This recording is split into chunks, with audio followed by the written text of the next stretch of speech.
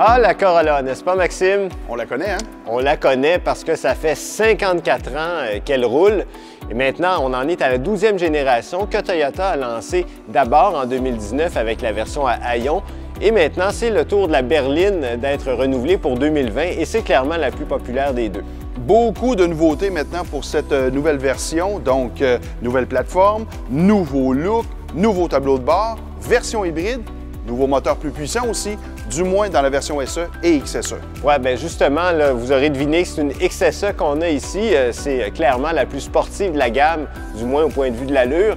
Et c'est aussi la plus chère avec un prix qui dépasse légèrement les 30 000 Alors là, on va aller voir si les Québécois ont raison d'acheter encore cette voiture-là en si grand nombre. Toyota a voulu donner plus de caractère à la Corolla. Ça se voit, ça se sent bien au volant aussi avec euh, la transmission en variation continue plus réactive qui est jumelée à un moteur plus vif. Donc, euh, dans une version LE avec les roues de 16 pouces, peut-être qu'on s'en rend moins compte, mais la sauce prend bien dans un modèle comme la XSE qu'on a ici.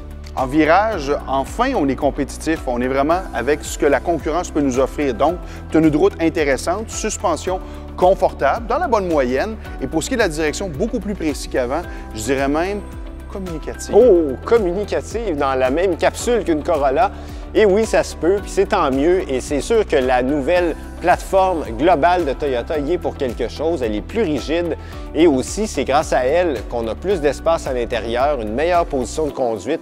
Et franchement, on termine ça avec les félicitations d'usage pour Toyota euh, qui installe toujours les aides à la conduite de série dans ses modèles. La Corolla, c'est une voiture qui suit plus la mode qu'avant. C'est bien tant mieux, mais il y a des compromis à faire. Oui, l'écran tactile. Hein? On dirait qu'on a assemblé le tableau de bord au complet, puis ah, on a oublié de le mettre. Alors, ils l'ont rajouté sur le dessus du tableau de bord. C'est très mal intégré, ça nuit à la, visibilité. De même que pour la qualité proprement dit de l'écran, on a déjà vraiment vu mieux. Hein? De même que pour la chaîne audio, on a déjà entendu mieux. Il y a aussi certaines commandes à replacer. Là, je fais euh, allusion au siège chauffant. C'est en dessous du tableau de bord. À revoir. Absolument. Euh, il faudrait aussi penser aux passagers arrière euh, qui ont un faible dégagement pour la tête parce que la ligne de toit est plus fuyante euh, qu'avant vers le coffre. il y a beaucoup de bruit de roulement dans la cabine. Je pense que tu l'as remarqué, tu as fait beaucoup d'autoroutes. Et enfin, la pédale de frein est difficile à doser. Donc, c'est un peu comme si Toyota avait coupé un peu partout pour donner plus de gadgets et plus de style.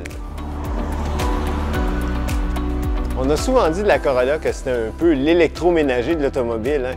mais euh, dans le cas de la XSE qu'on a ici, on est peut-être rendu ailleurs. Bon, on n'a pas encore le comportement routier d'une Volkswagen Jetta ou d'une Mazda 3, mais au moins ça se compare à une Hyundai Elantra. Par contre, il faut s'attendre à quoi avec Toyota? Fiabilité élevée et aussi une valeur de revente nettement supérieure à la moyenne.